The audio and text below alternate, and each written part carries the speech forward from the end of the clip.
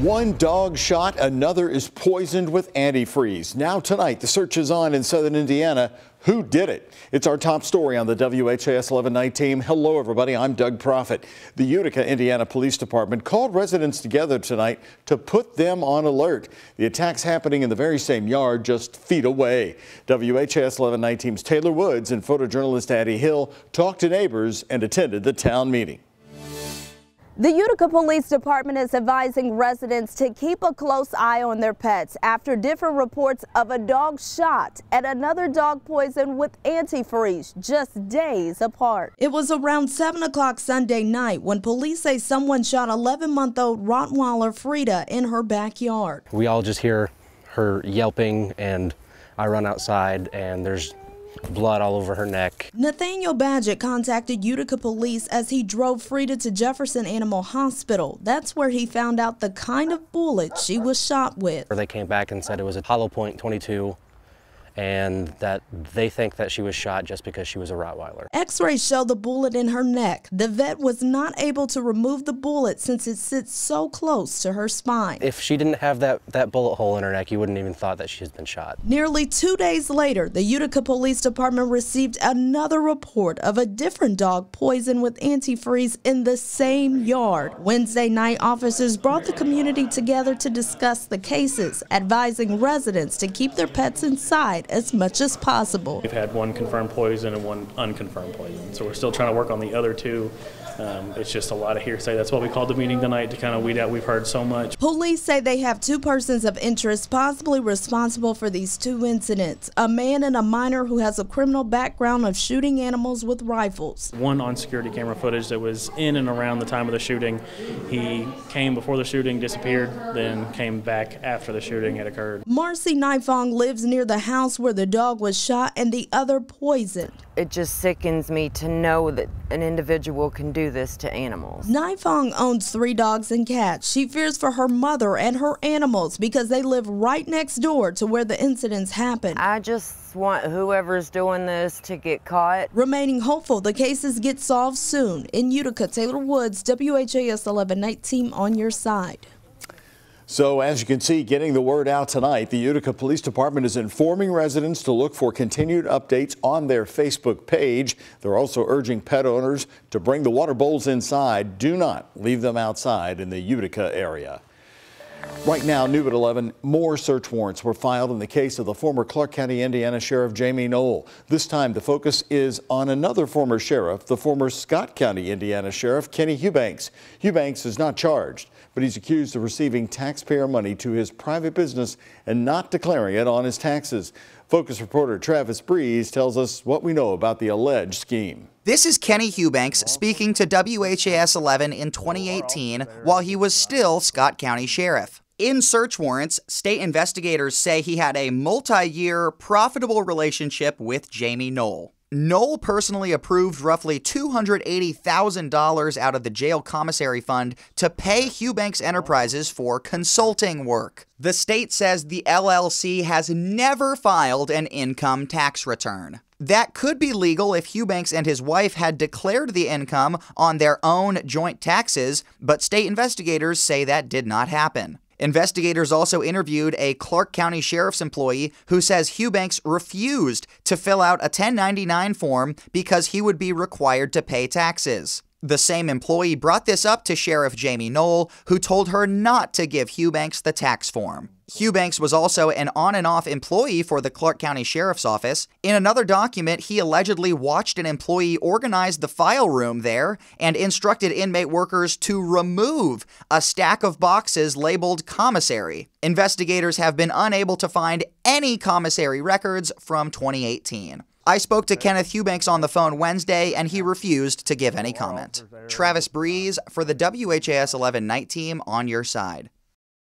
And in another search warrant filed today, the state is asking to search a PNC bank in New Albany. Investigators in Indiana say Jamey Noel and his EMS companies had an unknown bank account there that was used for Medicaid benefits. A Jefferson County grand jury has indicted this man. He's Adam Todd Sanders on murder and other charges connected to a crash that killed a Louisville Metro police officer's wife last month. Police say Sanders was driving under the influence when he hit the other car on Taylorsville Lake Road in far eastern Jefferson County. Erin Arendita Lane died in that crash. Her 14 year old daughter was also hurt, but was expected to make a full recovery. Sanders is being held on a $250,000 bond, but only needs to post 25,000 of it to be released. The former Louisville Catholic school teacher facing child pornography charges has been indicted by a federal grand jury. The grand jury indicted Jordan Fouts for possession and distribution of child pornography after investigators say he manipulated students' photos into explicit images. Fouts was a part-time religion teacher at St. Stephen Martyr Catholic School that's near Audubon Park when police say he shared the images with undercover officers. He's expected to be back in court next week. Nearly four years after the ACLU filed a lawsuit against Louisville Metro Police, the case was back before a federal judge today. The lawsuit is focused on LMPD's use of force and alleged intimidation against protesters in the summer of 2020. The ACLU argues the case should be a class action lawsuit, but during a hearing today, defense attorneys argue the case shouldn't be heard anymore. They cited LMPD policies put in place following the civil unrest. Following the hearing, the ACLU spoke to the timeliness of the hearing with city and DOJ leaders just beginning consent decree negotiations yesterday.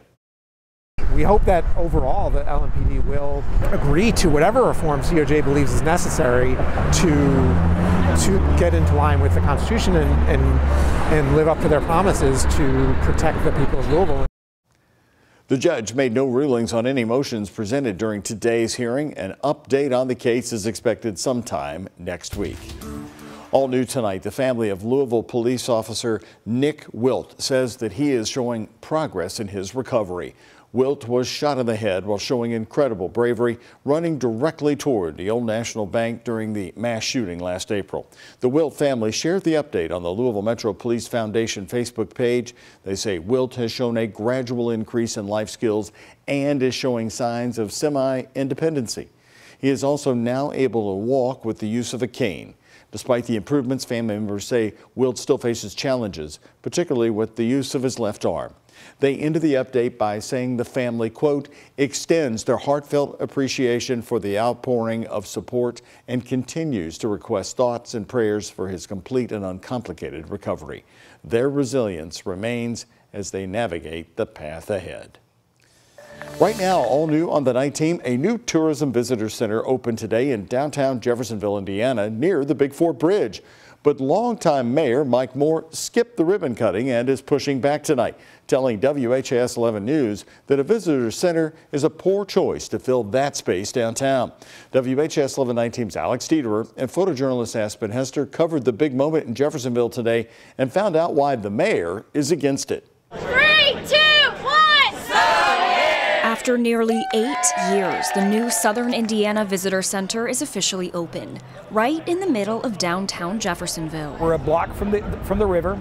We're a block from Big Four Station Park with a million pedestrians coming across every year. As downtown Jeffersonville grows and is revitalized, so is the tourism here in southern Indiana. Also this week on Tuesday, Jeffersonville Mayor Mike Moore touted the growth of the city and the booming tourism in his State of the City address. We've transformed Jeffersonville into a city where so many want to visit and even more want to call home. Just look around Jeffersonville and you see a city on the move.